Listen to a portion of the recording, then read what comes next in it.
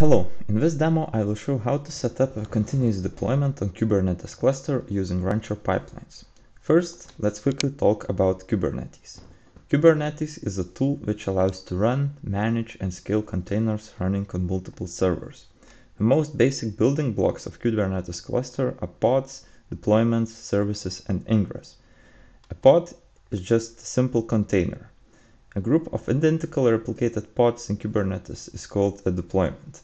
A service is just a level 7 load balancer which distributes the load between pod replicas. Ingress is level 7 load balancer.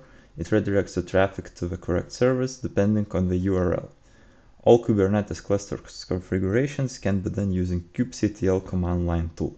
Now let's talk about Rancher. Rancher is a great tool which provides this nice and intuitive UI to help manage, scale and monitor multiple Kubernetes clusters. In our case, we have only one cluster, so let's choose it. And you can see the usage of cluster resources here. Rancher provides most of the functionalities which are provided by kubectl command line tool. So you can see your deployments here, you can scale them up or down. You can manage your ingress rules in the load balancing tab, service discovery can be changed here. Persistent volumes also can be managed, as well as secrets and uh, config maps. So even the ones who don't have deep knowledge in Kubernetes can easily do most of the Kubernetes cluster management tasks through this UI. In order to upload a new app on Kubernetes cluster, you can just simply click deploy here, specify your image, uh, scalability factor and uh, it's deployed. But that way uh, the deployment is not updated automatically, you have to do that manually. So I will show how to set up Rancher pipelines to update your deployments automatically when they are pushed to GitHub repository. So for that I created this uh, example project which is just simple Node.js application which uh, returns uh, this Chuck Norris image on any response. So to show that it really works, it's actually already deployed here.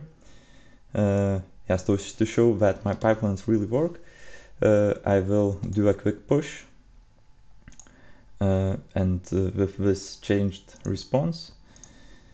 And after some time, uh, it will be deployed and the response of my web server will be changed. So this project has a Docker file, uh, which builds an image, uh, also kubernetes.yaml, which is simple configuration for Kubernetes cluster. It has deployment of this image with three replicas, uh, service and ingress rule to make uh, this image available through this URL. And I also created a rancher pipeline.yaml file, which uh, a setup file for rancher pipelines. It uh, publishes, uh, build, builds a Docker image, publishes it to Docker Hub, and uh, deploys.